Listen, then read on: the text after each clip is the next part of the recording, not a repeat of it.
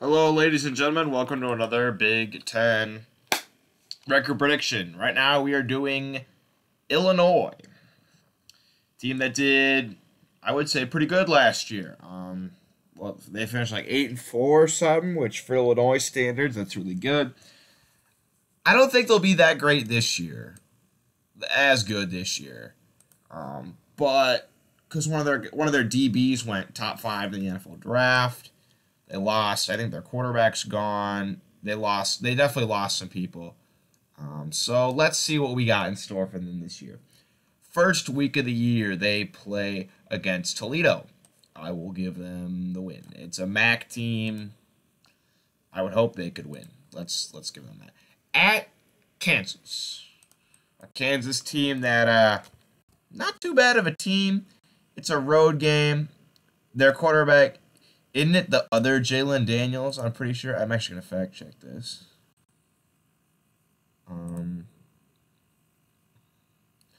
Oh, they don't have him. Oh yeah, they do. The other Jalon Daniels, who's actually pretty, still still pretty good. Not as good as the one on LSU, but still a good quarterback. And it's a road game. I'm gonna give Illinois a loss. Penn State, probably gonna be a loss if I'm if I'm being honest. I don't I don't think they're gonna they're gonna beat Penn State. It is it is home and they got big noon kickoff coming. Still think it's gonna be a loss. FAU I will give them the win. Um, FAU is kind of a middle of the road Group of Five team. Big Ten team should be able to beat them. At Purdue, I think this is going to be a loss.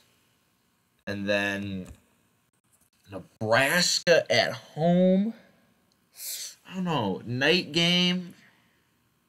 I like the fact that it's a night game. For I like that for Illinois' chances. Um, so you know what? I'm gonna give them the win um, in this one. At Maryland, I think it's gonna be lost. I really think Taulia, Tagovailoa, and Maryland are gonna have a really good year. That's my sleeper team this year in the Big Ten, at least. I think Maryland's gonna do really, really well. Wisconsin loss. I don't think they're going to be as good as Wisconsin this year. At Minnesota, I'm going to have to say loss as well. Indiana, I think they win. I think they're going to get a revenge win from last year when IU beat them. I, I don't think they'll lose to IU twice. It's it's a home game. I might try to go to this game if I'm being honest with you, but I think they I think they will win.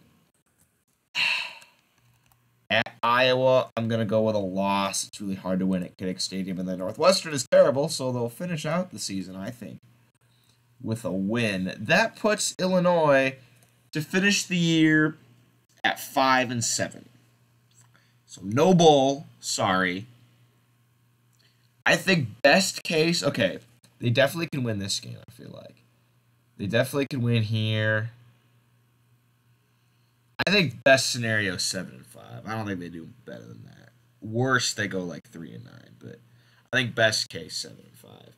I got five and seven for Fighting Illini. I just don't think they'll be that great. Sorry, um, but yeah, hope you guys enjoyed, and I will see you uh, tomorrow with more of these. I hope you're enjoying these. Are you enjoying these?